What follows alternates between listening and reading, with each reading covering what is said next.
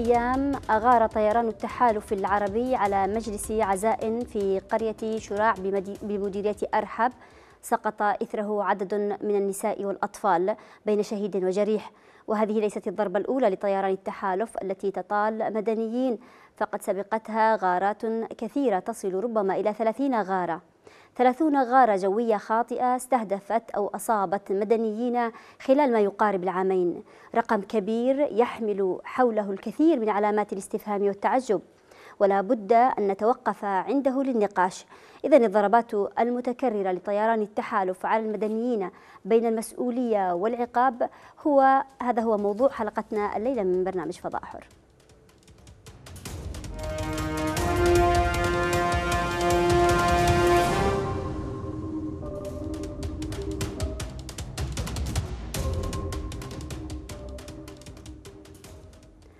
منذ انطلاق عاصفة الحزم التي اكتسبت شرعيتها من طلب الرئيس هادي للتدخل ومن ميثاق الأمم المتحدة والقرارات الدولية ومقررات الجامعة العربية والتي جاءت جميعها لتأكيد حق اليمنيين في استعادة السلطة من يد تحالف الانقلاب الذي قوض كل مؤسسات الدولة وأطاح بكل ما توافق عليه اليمنيون وقتل وشرد واختطف الآلاف.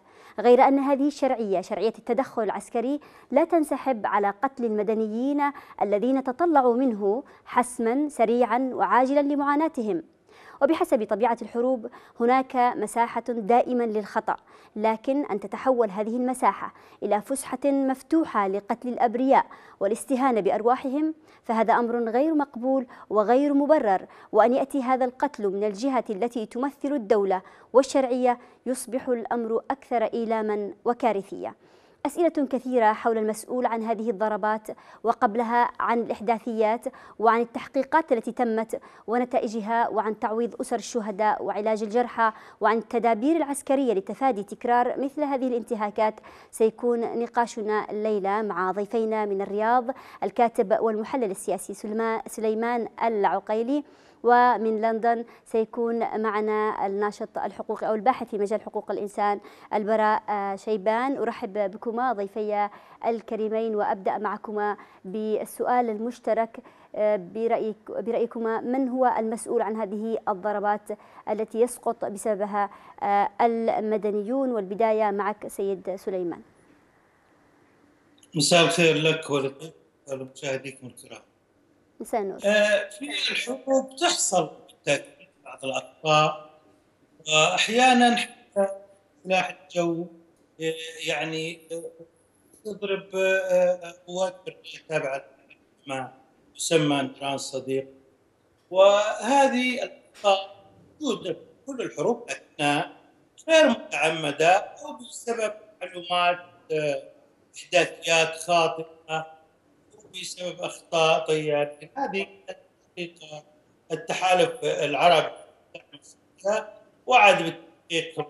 وهو كان شفاف منذ البداية كل الأخطاء التي وقع فيها أعلن عن عن عن عن عن, عن مسؤوليته فيها وعن إعداده للتعويضات و يعني لم يعني يعني تخلى عن مسؤوليات أستاذ سليمان سوف سوف أكتفي بهذا الرد. يعني هناك أيضا مشكلة آه، في الصوت.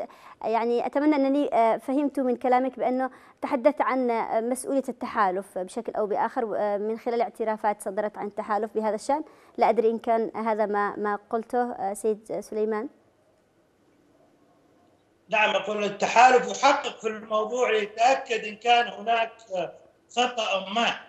نعم. وهو بالتأكيد سيعلن عن ذلك خلال الأيام القادمة وقد عودنا التحالف العربي تحمل المسؤولية الاخلاقيه وحتى السياسية عن اي أخطاء غير آه، آه، آه، مقصودة في هذه طيب طيب بالنسبة بالنسبة لك أستاذ براء يعني من تحمل مسؤولية هذه الجرائم دعنا نقول وتكرارها؟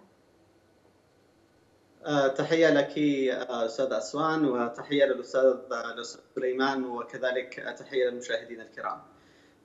بحقيقة الأمر عندما نعود إلى القانون الإنساني الدولي عندما نعود إلى طبيعة توصيف مثل هذه مثل هذه الحوادث هي تدخل الآن أنا بالنسبة لي خرجت من نطاق فقط أخطاء إلى حالة إلى حالة الانتهاك. وحالة الانتهاك هي واضحة كونها تكررت دون مراعاة جدية أو على الأقل لا نستشعر بالمراعاة الجدية لارتفاع كلفة الضحايا الضحايا المدنيين. أنا أنا أقدر أن هناك قواعد الاشتباك أو وضع المدنيين ظل تحت ظل قواعد الاشتباك مختلفة عن وضع المدنيين في الظروف الطبيعية والاعتيادية ولكن هذا أيضا ينظمه القانون الإنساني الدولي وهو الذي ما يجب أن تلتزم به الحكومة اليمنية وما يجب أن يلتزم به يلتزم به التحالف.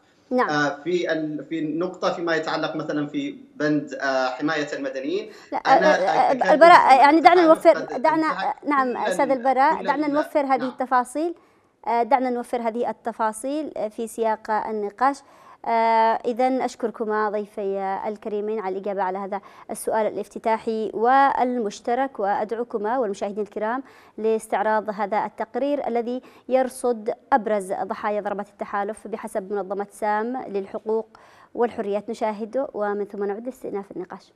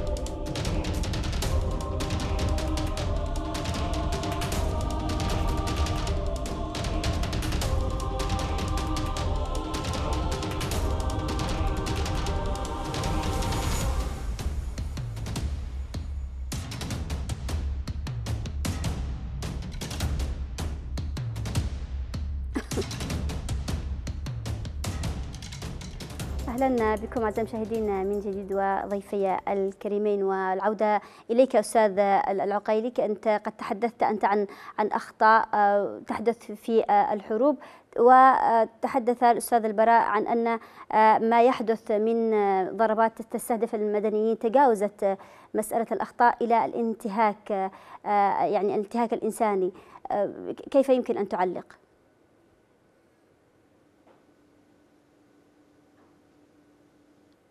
أستاذ سليمان؟ أيوه اسمعك تفضل. أسمعني؟ أيوه أسمع اسمعك نعم. طيب اذا إلى أن نحل المشكلة مع سيد سليمان العقيلي من من الرياض أتحول إليك البراء. كنت قد تحدثت عن هذه الجزئية مسألة الخطأ والانتهاك هل يمكن أن تفسرها لنا يعني قانونيا ما الفرق بين المفهومين؟ نعم ابتداء مثل ما ذكرت هناك فرق في وضع يعني بالنسبة لما يتعلق بحماية المدنيين في في الأوقات الطبيعية فما يتعلق أيضا بحماية المدنيين في أوقات الصراع المسلح. فيما يتعلق الآن باليمن بمجرد ان بدأت الحرب وأعلنت الحكومة اليمنية ذلك رسميا دخل كل تقريبا معظم اليمن تدخل ضمن هذا هذا الصراع المسلح. لكن في إطار ذلك هناك مناطق مكتظة بالسكان وهذه المناطق المدنية المكتظة بالسكان يجب أن تجنب قدر الإمكان من من من معظم الضربات كونها بعيدا أصلا عن مناطق عن مناطق الاشتباك فيما يتعلق أيضا بالتفصيل كذلك هناك عدة قواعد يجب أن تحكم العملية. الضرورة العسكرية يجب أن هناك تمييز بين المناطق المدنية والسكان المدنيين والمقاتلين. يجب أن تكون حجم الضربات هناك تنا... يسمى, يسمى التناسب أن تكون حجم الضربات متناسبة مع ال مع ال مع ال مع الهدف أو مع العملية. يجب أن يكون هناك مراعاة للإنسانية ويجب هناك مراعاة للاحتراس. وكذلك هناك جانب حظر الأسلحة. ولكن أنا أكاد أن أجزم أنه على الأقل من بين هذه الستة القواعد أن التحالف قد خالف أربعة منها بشكل واضح وصريح. لأن هناك عملية تكرار في هذه العملية. ليست خطأ ليست حالة فردية ليست مرة من المرات يقول أنهم استلموا ممكن أحداثيات خاطئة. هناك حالة تكرار في هذه الحوادث وهذا التكرار لا ينتج عليه محاولة تصحيح لمثل هذه لمثل هذه هذه العمليات. ليست أول مرة تسقط فيها مدنيين في مناطق بعيدة عن مناطق مناطق الاشتباك وليست أول مرة أن يسقط فيها مدنيين. ليس لهم أي دخل أي دخل بالصراع. حتى لو افترضنا تواجد الحوثيين في مناطق قريبة هذا هناك فرق في التناسب. أنت إذا تستهدف مثلا سيارة دفاعية الربع فيها بعض المسلحين وتكون النتيجة إن هناك 18 أو 12 قتيل هذا ليس هناك تناسب في هذه في هذه العملية. نعم أستاذ أستاذ البراء هناك أيضا من يطرح بأنه آه كما تعرف الإنقلابيين لا يحترموا أي من قواعد الحرب وهم يستخدمون آه التجمعات المدنية والتجمعات السكانية يعني كمخازن أسلحة ويعني ولا أظن أن هناك مساحات خارجة عن مناطق الصراع. سأعود إليك أستاذ البراء. دعني أتحول الآن للاستاذ سليمان العقيلي إذا كان قد استمع إليك. أرجو أن أجد تعليق منك على ما طرحه الأستاذ براء.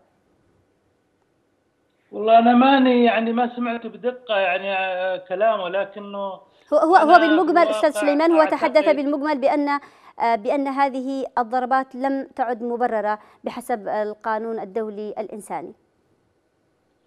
التحالف العربي شكل لجنة حقوقية فيها خبراء عسكريين وحقوقيين وفيها طيارين وفيها منظمات الأمم المتحدة ولديه في الحقيقة من الإمكانات القانونية والتحليلية ما تمكن هذه اللجنة من الاطلاع على السجلات.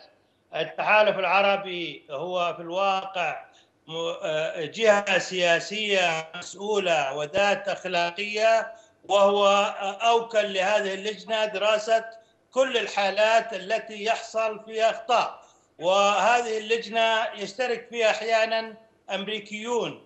ومن من الأمم المتحدة. ولذلك التحالف ليس في صدد البحث عن تبريرات أو أعذار. هو في الحقيقة يواجه أي خطأ من سواء من طياريه أو من الذين يعطون الإحداثيات. هذه هذه في الواقع أنا أدافع عن التحالف لمعرفتي بحسه الأخلاقي الرفيع وبحسه السياسي العالي وأنا على ثقة نعم. أن التحالف لا يبادر الحوثي الذي يقصف نعم. المدن اليمنية والمدن السعودية ويقتل المدنيين والمقيمين غير السعوديين وغير السعوديين على الحدود بالصواريخ الكاتيوشا نعم نعم سيد سليمان. وهذا هو أيضا وهذا السؤال هنا يطرح يطرح لكم وللتحالف تحديدا. ما الذي ابقيتم ماذا ما الذي أبقاه التحالف حتى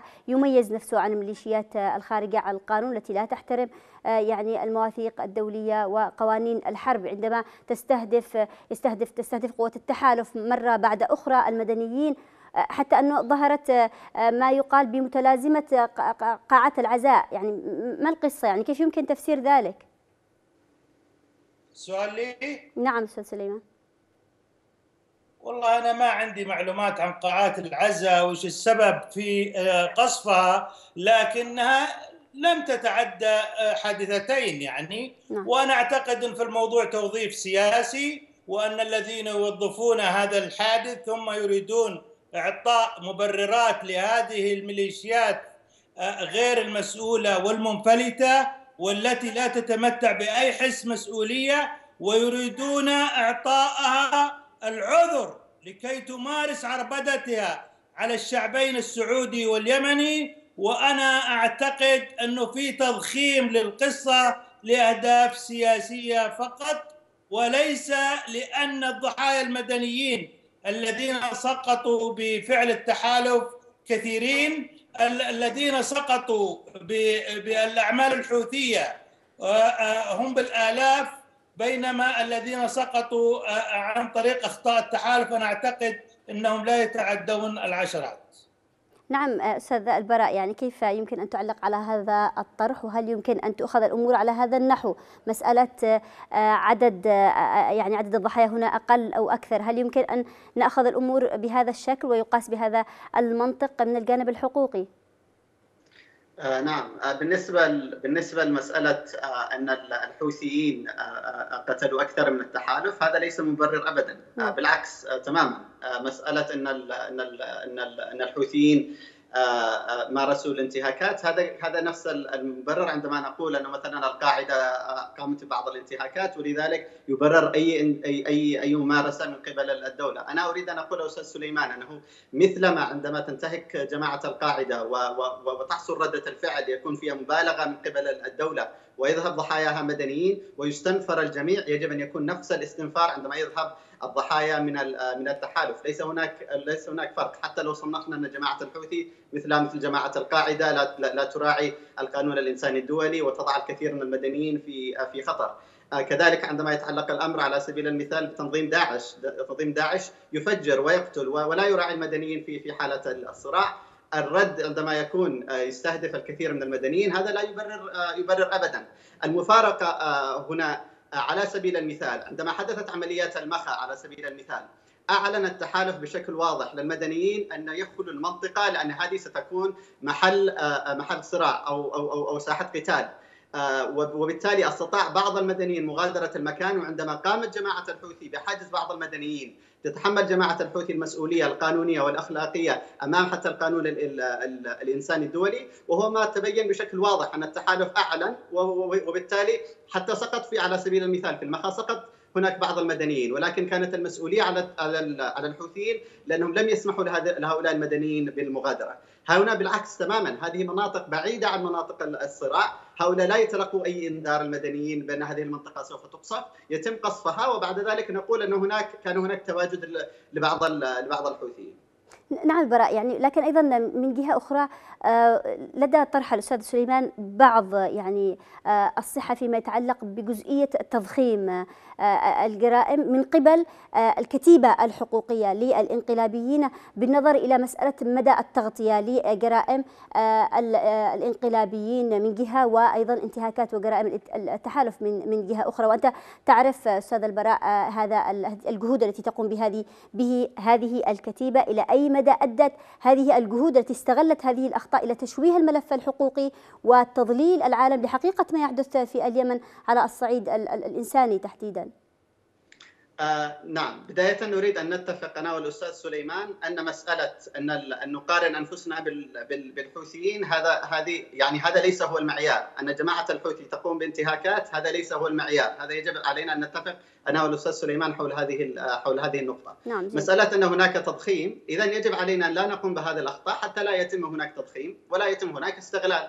فهذه العملية بالنسبة لي مدانه من الناحية القانونية، مدانه من الناحية الأخلاقية كونها استهدفت مدنيين، ومدانه من الناحية السياسية كونها تخدم الانقلاب أكثر ما تخدم تخدم الشرعية.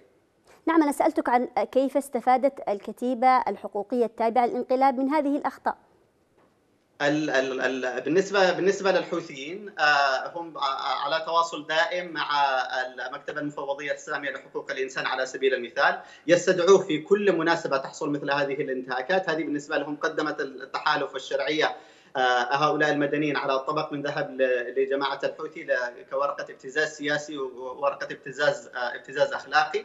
ومكتب المفوضية على سبيل على فكرة هو موجود في صنعاء يعني بسهولة بإمكانه الوصول إلى هذه المناطق والتحقيق من هذه من هذه الانتهاكات. يجب على على التحالف. الحكومة اليمنية عندما تحصل مثل هذه الحوادث أن تعلن مباشرة في التحقيق. لا تنتظر كثيرا. تعلن مباشرة في التحقيق تعلن النتائج بشكل بشكل بشكل نعم. سريع وتتواصل مع الضحايا. وهي النقطة المفقودة في العملية. وهي نقطة مهمة جدا أحيلها الآن إلى الأستاذ سليمان العقيلي الذي تحدث أيضا آه، هو عنها في إجابته السابقة. تحدثت أستاذ سليمان عن مسألة التحقيقات التي تجريها يعني آه، جانب التحالف بعد كل عملية من هذه العمليات التي يسقط فيها مدنيين. إلى أين أفضت هذه التحقيقات؟ هل من إدانات صدرت بعد هذه التحقيقات؟ هل من مساءلات؟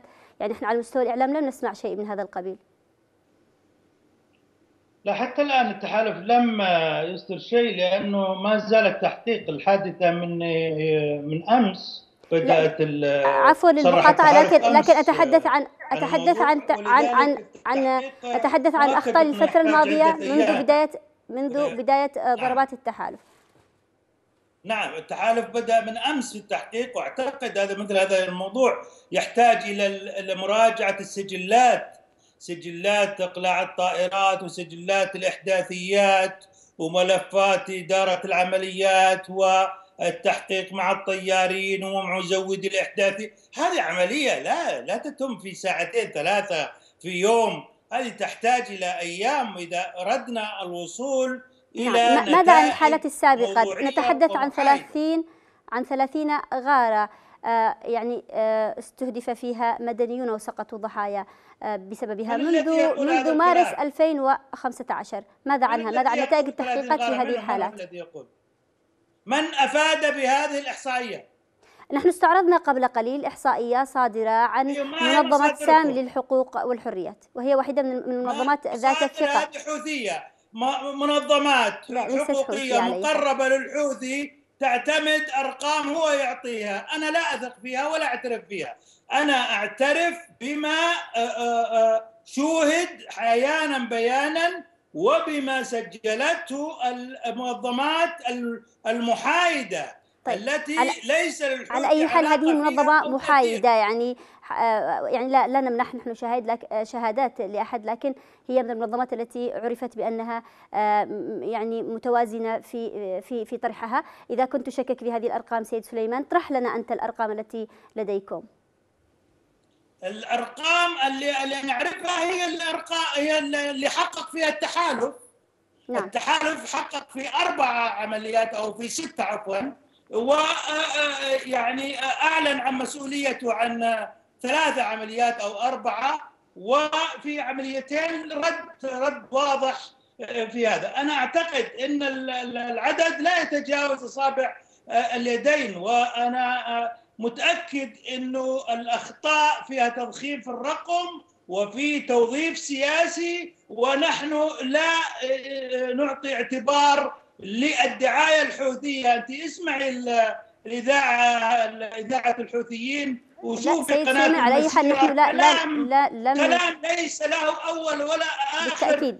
نحن لم نستقي هذه المعلومات من فجاجة في الطرح وفي الأسلوب هذه جهة غير مسؤولة وغير أخلاقية وغير سياسية وليست ذات سيادة ولا يمكن طيب. مقارنة طيب دعني أحل هذا الحديث هذا الطرح أو هذه وجهة النظر هذه إلى نعم إلى السيد البراء الحوثي طيب. الحوثي ليس سلطة سياسية في اليمن الحوثي ميليشيا محاصرة ملاحقة تحت طائلة القانون نعم. ومن يقع تحت سلطة الحوثي عليه في واقع الأمر أن يبتعد عن المناطق العسكرية والمناطق التي يضعها الحوثي دروع بشرية الحوثي يستخدم المدنيين دروع بشرية والحوثي هو يسعى إلى قتل المدنيين كي يوظف هذه العمليات توظيف سياسي نعم إذا طيب. طيب. الحوثي لا يهم الإنسان لا اليمني ولا نعم هذا أمر محسوم سيد سليمان. نحن نتحدث الآن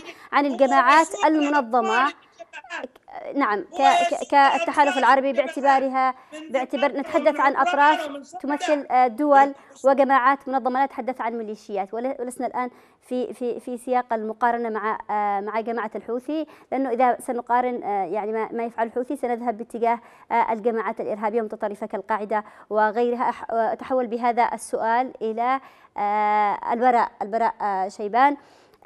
يعني هذا الطرح الذي تحدث عنه السيد سليمان. أيضا يحيلنا إلى سؤال أيضا منطقي ومشروع. أن المنظمات التي ترفع هذه التقارير من الداخل كما تعرف براء آه، هي منظمات آه، راضية عنها آه، سلطة الانقلاب كما تعرف. ولا يوجد وليس هناك أي وجود للمنظمات الحقوقية المحايدة. يعني كما أشار السيد سليمان كيف يمكن أن نثق بما ترفع من تقارير حقوقية من قبل المنظمات العاملة تحت غطاء الانقلاب أو حتى من قبل الانقلاب الانقلابيين أنفسهم؟ آه نعم بالنسبة بالنسبة لل... لل... لعمل المنظمات نحن في بداية يعني ابتداء موضوع جماعة الحوثي والانتهاكات اللي تقوم بها جماعة الحوثي أعتقد نحن تناولناها في كثير من الحلقات سواء في هذا البرنامج وفي غيره من من البرامج وتو... يعني تناولنا بالتقرير وبالتفصيل ما تقوم به جماعة جماعة الحوثي.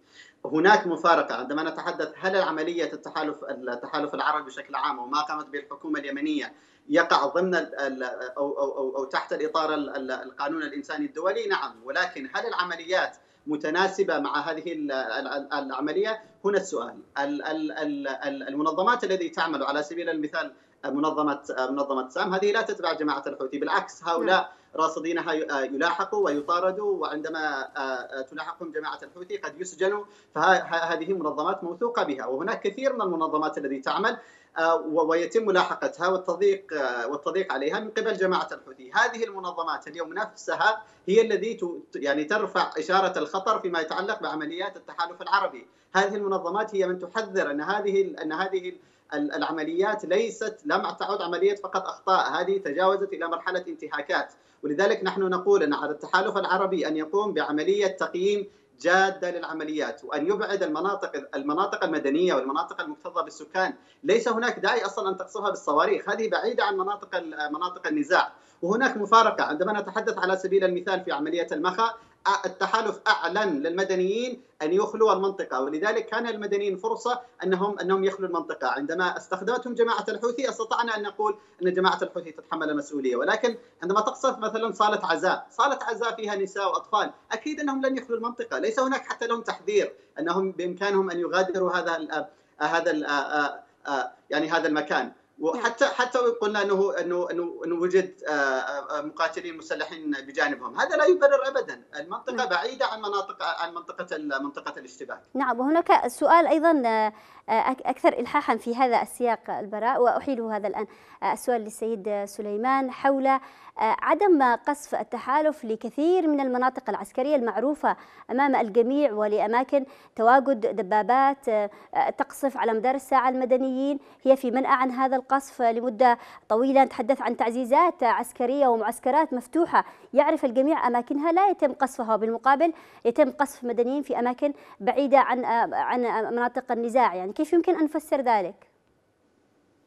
أنا عندي الحقيقة تحليل أو اعتقاد وهو اعتقاد غير راسخ وإنما يمكن يكون في حدود الظن. أنا أعتقد أنه ربما يكون هناك اختراق من الحوثي لمزودي الإحداثيات وأن الحوثي ربما كان بحاجة إلى صالة عزا جديدة مثل ما حصل في صنعاء وأنه هو الذي سرب عن طريق عميل ربما اخترق الحكومة الشرعية أو الجهات التي تزود بالاحداثيات وربما هم قصدوا أو احتاجوا إلى هذه العملية لأنه ما في مبرر في الحقيقة لقصف صاله عزة ولا أعتقد إن التحالف كان يقصد أن يقصف صاله عزة ولا موقع مدني اطلاقا. فلذلك أنا في حدود ظني إنه ربما أن الحوثي كان محتاج عملية زي كذا وأنه هو الذي سرب أحداثية لأن الأحداثية باين إنها كانت دقيقة وكانت يعني معدة بطريقة مشبوهة وربما أنه كان بحاجة إلى مصيبة تخلصه من المأزق الذي هو يقع فيه الآن خاصة في ظل الحصار والسياسي وضع الحوثي الآن من الناحيه الاستراتيجيه وضع سيء محاصر الآن هو ويلاحق في الساحل الغربي ووضعه الدولي سيء لأنه السياسة كيري صديقهم كيري اعتزل العمل السياسي وتوجه إلى المظاهرات في الشوارع وكانوا يعتمدون طيب عليه أستاذ سليمان نعم. فهم الآن محتاج نعم أستاذ سليمان وضحت وضحت هذه الفكرة. يسوقون فيه نظرية ما يسمونه العدوان.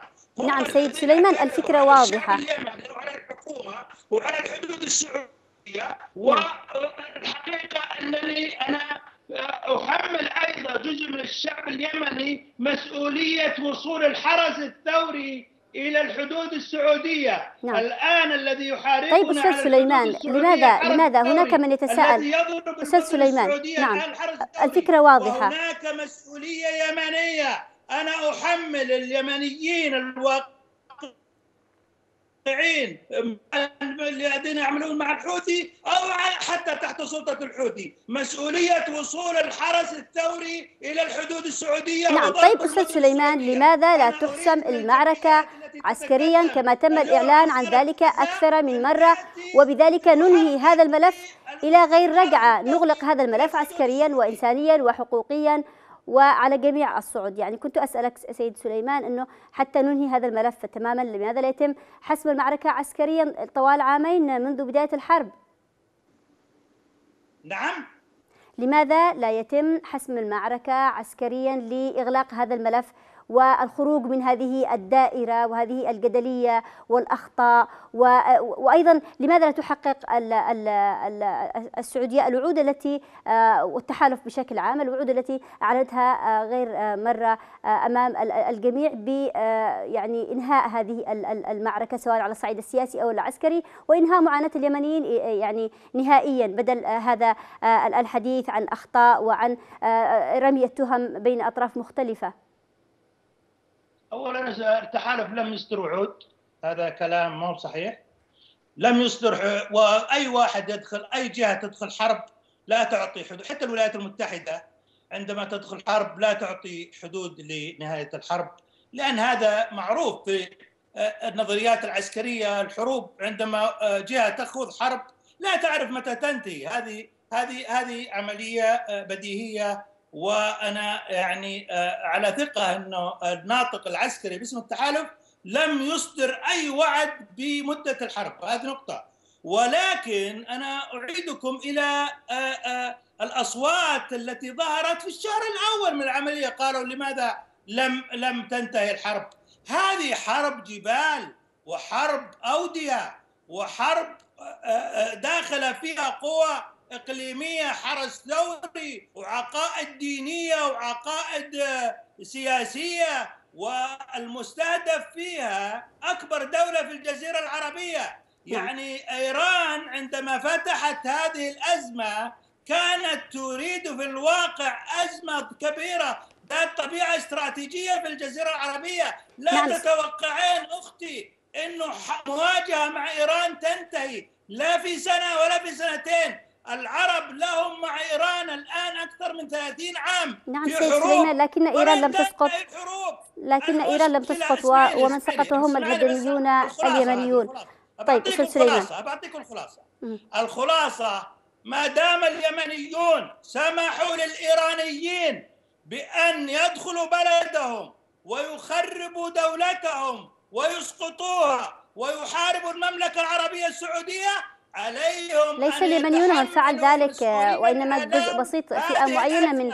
هذه الأزمة فيها آلام سعودية مثل ما فيها آلام يمنية نحن يموت من أبنائنا يوميا العشرات سواء مدنيين أو عسكريين لكن نحن و- و- وهل تنتقموا أنتم بذلك من اليمنيين سيد سليمان؟ هل أفهم من كلامك بأن بأن السعودية الآن تنتقم من اليمنيين لأنها سمحت لإيران كما تقول بأن آه، تكون آه، اليمن ذراع لها للسيطرة على السعودية؟ لا هذا تفسيرك أنت تفسيرك أنت نعم. أنا أقول ما دام الحرس الثوري الإيراني وصل اليمن وسمح له بأن يهدد الحدود السعودية آه، نحن ندفع ثمن مثل مثل الشعب اليمني. نعم. الشعب السعودي يدفع ولكن لم نقل آه. يعني يوميا يموت سعوديون. ولم نقل آه. ولم نلجأ للتظلمات عند حقوق الإنسان لأننا ندافع عن سيادتنا وعن أرضنا. فلذلك اليمنيون الآن الذين يأخذون حرب ضد حركة الانقلاب واعتقد انكم جزء منهم. واجب انكم اليوم ما تضرون الحوثي انه ضحية، الحوثي هو المعتدي. هو الجبار سيد سليمان نحن نتحدث عن ضحايا مدنيون.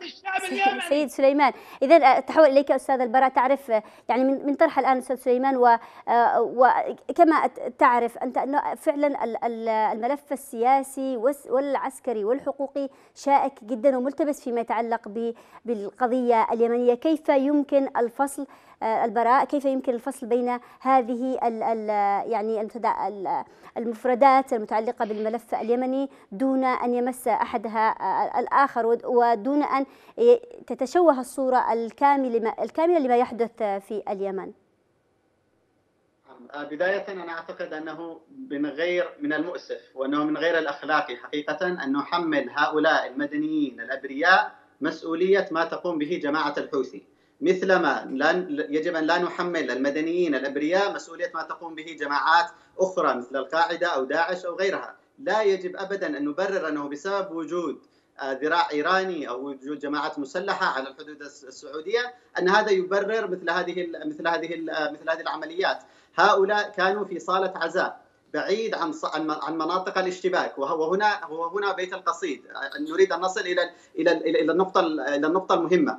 هذه مناطق الاشتباك مع جماعة الحوثي ليست المناطق التي سقط فيها المدنيين. أنت تتحدث عن صالة عزاء في منطقة أرحب بعيدة كثيرا عن منطقة منطقة الاشتباك. تتحدث عن مثلا ال- ال- ال- المرة السابقة حصل هناك ضحايا في في الحديدة. حدث هناك آه، آه، آه، ضحايا في منطقة حجة. هذه كلها بعيدة عن مناطق مناطق الاشتباك. عندما تقوم التحالف بعملية تقييم لهذه الحوادث سوف يراجع العملية ويقول يجب علينا أن نبعد هذه المناطق من هذه آه، من هذه ال- من هذه الضربات. لأنه عندما تقترب العمليات العسكرية من منطقة معينة فالعمليات العسكرية توحي للمدنيين أن يخلوا هذه المنطقة حفاظا على أرواحهم. ولكن عندما تقصف أنت بشكل آه، يعني آه، يعني بشكل كامل مناطق كثيرة آه، المدنيين لا يتلقوا التنبيه أو التحذير حتى يخلوا المنطقة آه، حتى يتجنبوا آه، حتى يتجنبوا نعم لكن. سؤالي البراء كان سؤالي حول تداخل الملف السياسي وال- والعسكري والحقوقي آه، فيما يتعلق بما يحدث في اليمن ويعني عدم أيضا آه، حيادية حتى المنظمات الدولية فيما يتعلق بنظر لهذا الملف آه، كما تعرف. كيف يمكن الفصل بين هذين الجانبين؟ بين يعني توجهات ومواقف منظمات ودول بأكملها فيما يتعلق بأطراف الصراع في اليمن وبين الجانب الحقوقي. حيادية أم غير حيادية المنظمات من تتحمل سقوط هؤلاء المدنيين الحكومة الشرعية والتحالف سواء كانت المنظمات حيادية أم غير حيادية. هذه مسألة مسألة ثانوية نناقشها لا لا لا أتحدث عن مسؤولية. لا أتحدث عن مسؤولية البراء يعني نعرف كل طرف يتحمل مسؤولية الضحايا الذي يسقطون آه، تحت طائلته أنا أسأل كيف يمكن الفصل بين هذين الجانبين؟ ونحن نعرف بأن هناك ثقل كبير لدول ومنظمات كبيرة تتلاعب في هذا الملف تحديدا. ما هو من من هنا تأتي أهمية آه، تقييم ومراجعة هذه الحوادث والتواصل مع الضحايا بشكل آه، بشكل بشكل مباشر حتى لا يتم استغلال هذه هذه النقطة من قبل الانقلاب، الآن هذه العمليات بشكل واضح تخدم الانقلاب لا تخدم الشرعية، عندما يسقط مثل هؤلاء المدنيين هذه تعطي طوق نجاة للانقلاب، لا لا لا يخدم لا تخدم الشرعية بهذه بهذه الطريقة، ويجب علينا أن لا نتحسس من رفع هذه القضايا عندما نقول إن نعم. هذا لأننا حريصين على الدولة، يجب على الأستاذ سليمان وغيره من المفكرين السعوديين أن نعم تماما كما. قلت البراء تماما كما قلت بأنه المستفيد الأول ربما من هذه آه، الضربات الخاطئة أو هذه ال يعني ال المدنيين الذين يسقطون بسبب ضربات التحالف. الم- المستفيد الأول هو الانقلابيون. ربما آه، يحتفون كما يعني نلاحظ بأنهم آه، يحتفون بهذه آه، الضربات ويتم نشرها على أوسع النطاق. وتعد بالنسبة لهم مادة دسمة لاستمرار المزيد من جرائمهم. سيد سليمان ونحن نتفق معك فيما يتعلق بأن الحوثي لا مجال للمقارنة مع جرائمه بأنه جماعة خارجة عن القانون وخارجة عن حتى ال- المنطق. وهنا أيضا نتساءل نحن ما الذي يمكن أن تستفيده السعوديه وهذا السؤال أيضا جاء على لسان أحد الأصدقاء خالد المطري يسأل ما الذي يريده التحالف من اليمن بالضبط؟ طالما ولم يحسم ال- ال- ال- الم- المعركة لم يحسمها لا عسكريا ولا سياسيا ولا أسلم يعني المدنيين من القتل. اولا آه، لا أعتقد إن التحالف بل متأكد إن التحالف لا يستفيد من ضرب المدنيين. هذه عملية يستفيد منها ال- المتمردون الانقلابيون القتلة المجرمون الذين يمسكون بالسلطة بالقوة وبالعنف ويعني على رقاب الشعب اليمني. وهم الآن يهددون المملكة العربية السعودية ونحن نعرف أهدافهم إنها أهداف إيرانية وهم الذي يخوض الحرب على فكرة آه الذي يوجهها الحرس الثوري. والله لا الحوثي عنده فكرة عن الصواريخ البالستية ولا عنده فكرة عن التكتيكات اللي نشوفها في الحدود والتي يروح فيها ضحايا الشباب اليمني مع الأسف الشديد فداء للأطماع الإيرانية. نحن لا نرى انه التكلفة التي ندفعها الآن نحن في المملكة العربية السعودية والتي يدفعها الشعب اليمني هذا ثمن تساهل البلدين أمام الاختراقات الإيرانية.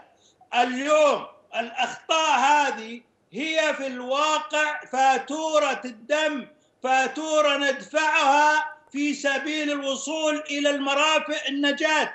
نحن الآن في خطر الإقليم كله في خطر. إيران تهدد السوريين وهي اليوم تقصف العراقيين. خرب 150 بيت في الموصل أمس بواسطة ميليشيات محسوبة على إيران. لب شحنت بالعقيدة عقيدة الكراهية. يريدون أن ينقلوا المأساة التي صنعوها في سوريا وفي العراق إلى اليمن. نحن في واقع الأمر الآن في حرب دفاعية. نحن والحكومة والشعب اليمني ضد هذه الزمرة التي تقاولت معها إيران لإحداث اضطراب في جنوب الجزيرة العربية. في سبيل الوصول لهذا الحدث لهذه الهدف السامي والنبيل هناك تضحيات ندفعها. يدفعها السعوديون مدنيون وعسكريون. نحن ندفع أثمان وأكلاف في الأرواح وبالتاكيد في في الممتلكات وفي الأموال. نعم. ونحن نعرف أننا ندفع هذا الثمن. إنما هذا الثمن يدفع اليوم لأنه لم يتم التحرك من قبل للاجم هذه الثغرة التي تسلل منها الحرس الثوري ووضعنا ووضع الشعب اليمني والدولة اليمنية في هذا الموقع. بالتأكيد أنه أنه قتل المدنيين في في اليمن وفي السعودية أمر يعني لا يسر وأمر مستهجن وغير مطلوب بالتأكيد ومندد به. لكن نحن الآن في واقع الأمر وعليه سيد سليمان ما الذي ما الذي تم اتخاذه من إجراءات احترازية على الأقل تفاديا لعدم نعم. تكرار مثل هذه الانتهاكات؟ الصوت الصوت ما الذي تم اتخاذه؟ هل هناك من إجراءات تم اتخاذها بناء على تحقيقات سابقة فيما يتعلق بانتهاكات مشابهة لتفادي سقوط المدنيين في مثل هذه الضربات؟ بالتاكيد بالتأكيد اولا انه إنه اتخذت إجراءات و والآن فيه مخصصات ستدفع لضحايا ولكن لن تدفع لسلطة الأمر الواقع نعم. لن تصل الأموال لسلطة الأمر الواقع. الأموال لن تصل لأنها ستخطف وستوظف فيما يسمونه الجهد الحربي. عندما تعود الشرعية إلى صنعاء بالتأكيد أنه الضحايا سيتسلمون التعويضات وبالتأكيد أنه في تصحيح في العملية في في الأخطاء. يعني الآن الأخطاء تتقلص. هذا أول خطأ في عام في, في, في ستة شهور تقريبا. يعني على, على أي حال سيد سليمان على أي حال سيد سليمان الاحصائيات تقول غير غير ذلك تقول بأن هذه الضربات تتكرر بوتيرة أكثر من من ذي قبل. أتحول بسؤال أخير إلى السيد البراء شيبان. أسألك عن المسار القانوني لهذه الانتهاكات وصولا للعدالة فيما يتعلق بعدالة انتقالية للضحايا. نعم أنا أريد أن أقول نقطة مهمة. الأستاذ سليمان ذكر الأخطار الإيرانية والأخطار المحدقة ووضع الانقلاب وماذا يراد أن, أن, أن تكون اليمن وكيف تتحول اليمن لبؤرة أريد أن أقول أن أكبر ما ندفعه ونخسره سواء المؤيدين للحكومة الشرعية أو المملكة العربية السعودية والتحالف هي الثمن الأخلاقي، الثمن الأخلاقي أمام الناس، وأريد أن أذكر الأستاذ سليمان تذكر كيف كان حالة اليمنيين عندما استقبلت المملكة العربية السعودية الكثير من اللاجئين الذين لجوا إليها في بداية في بداية الحرب وكيف كان انطباعهم على المملكة العربية السعودية وكيف عندما صححت أوضاع الكثير من طيب اليمنيين. هذا ثمن أخلاقي سؤالي كان عن المسائل القانونيه سيد البراء فيما يتعلق بعندما يسقط مثل هؤلاء المدنيين. هذا هو أكبر اختبار أمام الحكومة اليمنية وأمام التحالف وأمام التحالف. بالنسبة سريعا فقط موضوع العدالة العدالة الانتقالية لا يمكن للعدالة الانتقالية أن تتم إلا بعد ان ان تنتهي هذه الحرب والذي نتمنى أن تنتهي في أقرب وقت. نعم نتمنى ذلك أستاذ البراء أشكرك جزيل الشكر وأشكر الكاتب والمحلل السياسي سليمان العقيلي كنت معنا من الرياض وأشكركم أعزائنا المشاهدين على طيب المتابعة في الختام. تقبلوا تحياتي. أنا أسوان شاهر ومعد البرنامج أسامة القطيبي وكافة الفريق الفني للبرنامج. ألتقيكم في حلقة جديدة من فضاء حر الأسبوع القادم في نفس الموعد. في أمان الله.